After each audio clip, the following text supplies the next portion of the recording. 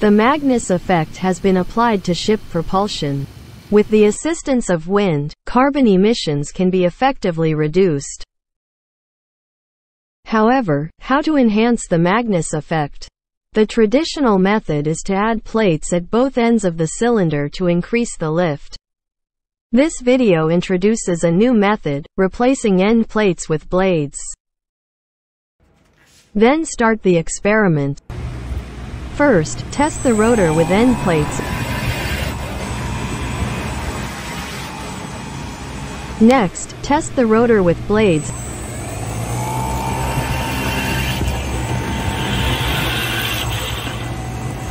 When the blades act to exhaust the airflow from the end, lift can be further enhanced. Overlapping videos for clear comparison, speed 3600 RPM.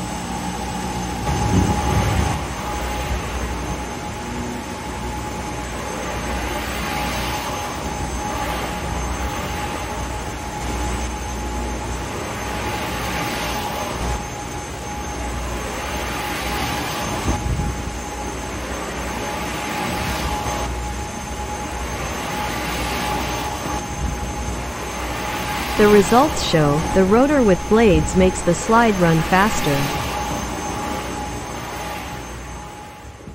Then make a timer to measure the data.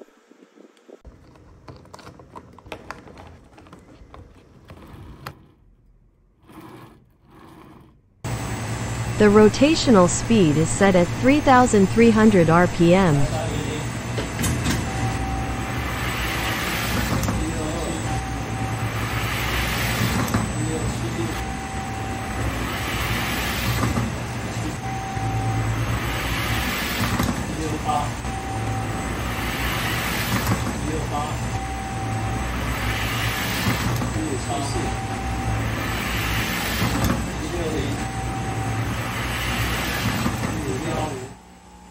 Average the data.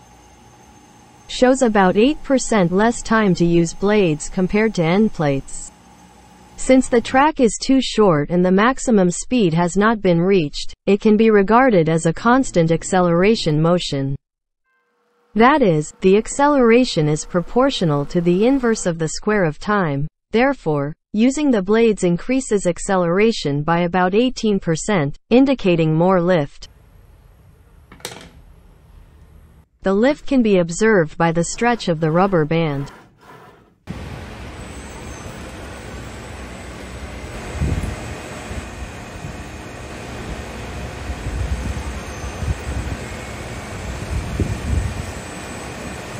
It shows that the rotor with blades causes greater elongation, indicating that the lift is indeed greater. What if reversing the direction of rotor rotation? The lift of the rotor using the end plates is still but in the opposite direction. However, the lift force of the rotor with blades almost disappears, because the blades are changed to inhale airflow. The horizontal wind is shielded, which destroys the conditions for the Magnus effect. Therefore, changing the pitch of the blades can also adjust the magnitude of the lift, as well as the lift-drag ratio. What is the use of this feature? In conventional rotor wing aircraft, there is no effective method of roll control that makes it difficult to maintain stability in crosswinds. Using the present invention, the lift force on both sides can be adjusted by changing the pitch of the blades to achieve active roll control, which makes the flight faster and safer. For ship propulsion, blades are used instead of end plates. Are there any advantages? For traditional rotors, the lift-drag ratio is fixed at the same rotation speed, the direction of the combined force of lift and drag cannot be adjusted. When the direction of the combined force is different from the ship's course, it must be corrected by the rudder, which creates a waste of energy. However, using the newly invented rotor, the magnitude of lift and drag can be adjusted by changing the pitch of the blades, so that the direction of the combined force can be as close to the ship's course as possible, thus reducing the burden on the rudder and saving energy. For more information on the comparison of end plates and blades, please refer to the link below the video.